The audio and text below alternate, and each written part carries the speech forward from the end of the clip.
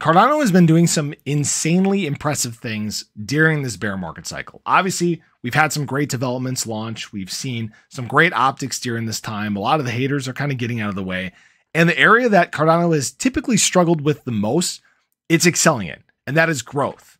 During this time, the bear market cycle, Cardano's growth has been absolutely insane. In fact, April was the best month to date for transactions on Cardano. We saw 65.6 million transactions just in April alone.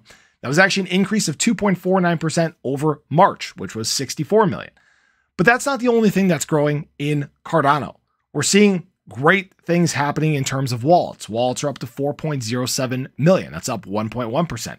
Plutus scripts up 3.53%. Native tokens up 1.54%. You guys kind of catch the drift here. All these areas of Cardano are really taking off during this time. And this isn't the only thing, right? TVL, we talk about more and more. you know, even just 2023 has been such an insane growth time. I just lost it here. there we go. Okay, 2023 has been such an insane growth time for Cardano. We've now hit an all time high in terms of locked ADA. There's more and more partnerships that are being formed. There's more and more people that are paying attention to what is being built during this time you know, this is by far the best year to be paying attention to what is being built. Cardano is truly creating some groundbreaking things, and this year is just getting started.